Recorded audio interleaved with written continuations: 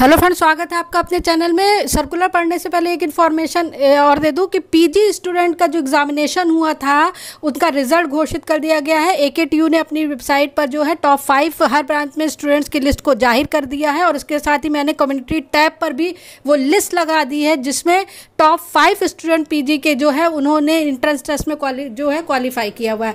तो जो सूचना है वो ये देख लीजिए कि दो हज़ार में सम सेमेस्टर के आयोजित हो रही ऑनलाइन परीक्षाओं के कतिपय छात्र छात्र छात्राओं द्वारा नकल किए जाए, जाने और किए जाने के प्रयास के संबंध में तो इसमें लिखा गया, उपरोक्त विषय के संबंध में अवगत कराना है कि कुछ छात्र व्हाट्सएप और टेलीग्राम ग्रुप बना करके जो है वो चीटिंग कर रहे थे। उक्त प्रकरण में विश्वविद्यालय द्वारा अत्यंत गंभीरता से लेते हुए अंकित छात्राओं के विरुद्ध यूएफएम के नियमों का उल्लंघन करते हुए दंडात्मक कार्यवाही करते हुए संबंधित विषयों की परीक्षा परिणाम को शून्य कर दिया गया है।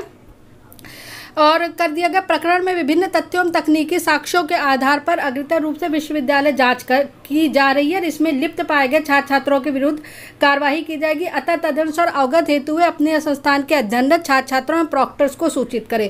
तो यहाँ पर लिस्ट आ गई है बयालीस ऐसे छात्र हैं। हर सेमेस्टर के आप देख सकते हैं, सेमेस्टर तो सेमेस्टर टू के सबसे ज़्यादा छात्र हैं।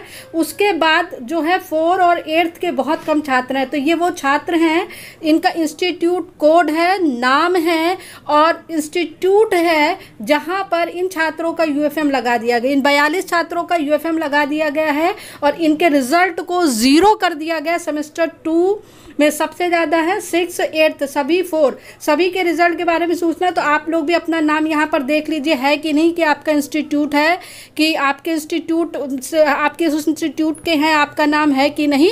अदरवाइज़ और किसी स्टूडेंट्स का जो है यूएफएम नहीं लगाया जाएगा। अगर यूएफएम आपका लगा है तो आप इंस्टीट्यूट जाइए और वहाँ पर अपना जो, अपने पक्ष की चीज़ें हैं, वो उसको प्रस्तुत करिए। तो ये लेटेस्ट अपडेट थी कि सभी सेमेस्टर की यू छात्रों की जो है, वो लिस्ट को जारी कर दिया गया और साथ ही पीजी स्टूडेंट ने जो एंट्रेंस एग्जामिनेशन दिया था, उसका भी रिज़ल्ट घोषित कर दिया गया है।